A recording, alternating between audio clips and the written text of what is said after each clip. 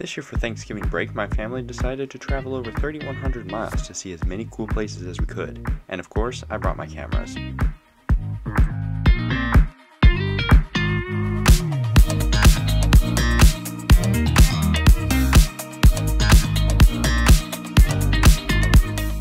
First off, about one and a half miles off the shore of the San Francisco Bay sits a 22 acre island. This small island was sold to the United States government in 1849. A lighthouse was built, but it wasn't until 1934 that the island was used as a federal prison. There were never more than 250 prisoners on this island at any time, although the capacity of the island was 450. Only a handful of prisoners ever made escape attempts, and only a small group actually succeeded getting off the island. It is still unknown whether or not these escapees survived the swim back to shore. In 1963, the prison closed, and it is now a Golden State National Park.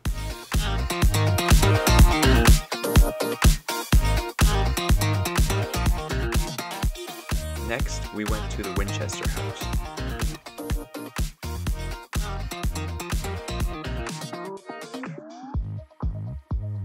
Winchester Mystery House. They won't let me film inside, so that kind of sucks. Yosemite. Yosemite National Park is the third national park in the United States of America. It is truly stunning to see in person and hard to convey with words, so video montage it is.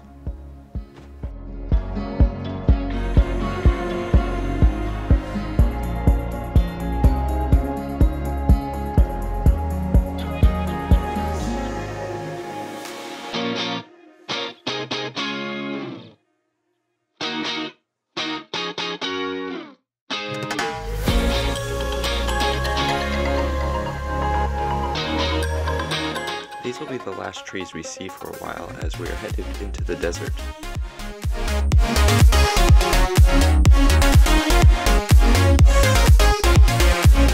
In 1942, the U.S. military built a base about an hour south of Palm Springs, California, in order to train anti-aircraft units. The base was decommissioned in 1956 and the buildings were removed, leaving only concrete foundations. Almost immediately afterwards, squatters moved in and named it Slab City. There are two major attractions in Slab City, Salvation Mountain and East Jesus. Salvation Mountain is a large sculpture built by Leonard Knight. Leonard had an interesting yet simple outlook on religion. If you love Jesus and ask for forgiveness, you'll be saved. In loving Jesus, he built a mountain. Colors, is that what you just said? These are hay baled. Weird. Secondly, East Jesus, despite the name, is not a religious monument. Rather, it is an eclectic accumulation of abstract art formed by Charles Russell.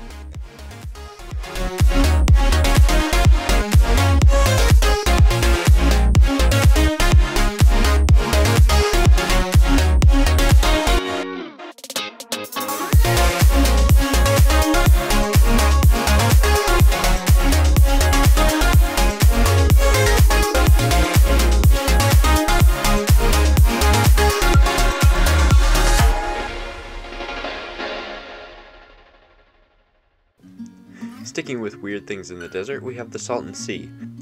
The Salton Sea is not only the largest body of water in California, but also man-made. During the 50s and 60s, this man-made oasis was often more popular than Yosemite. This is where things get weird, being an endorheic lake, a lake with no outlet that relies instead upon ground seepage and evaporation. The salt levels started getting far too high in the 70s. This was only half the problem.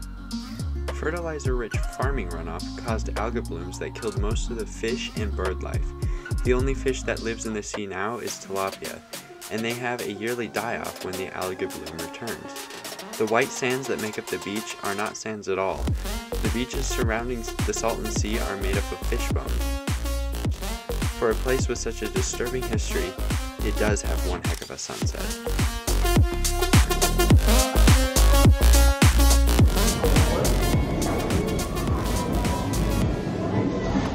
This is why we can't have nice things. Being from a landlocked state, the next morning we spent at a beach enjoying the ocean. Later, after some lunch, we found ourselves at the next place on our list, the USS Midway. This massive ship was named after the Battle of Midway in 1942. It was constructed in just 17 months, but missed serving in World War II by only a week. The Midway was heavily utilized during the Cold War and was decommissioned in 1966 as the longest serving aircraft carrier in the 20th century. Today it serves as a historical museum featuring mostly planes and helicopters.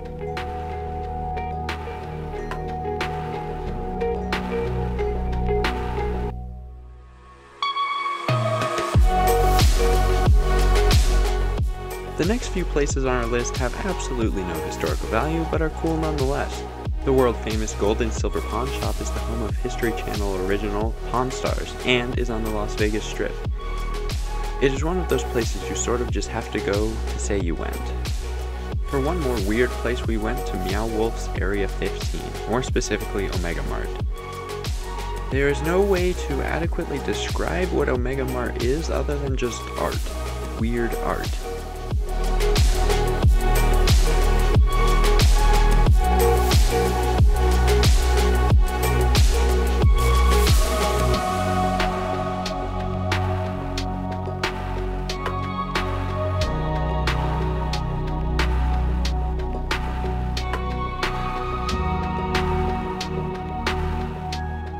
The last stop on our trip of interesting places is Zion's National Park, located in Utah.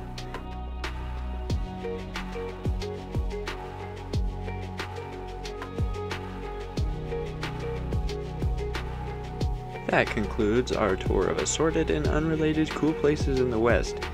This video took a considerable amount of time longer than anything else we have ever made, so I do not apologize for it being late.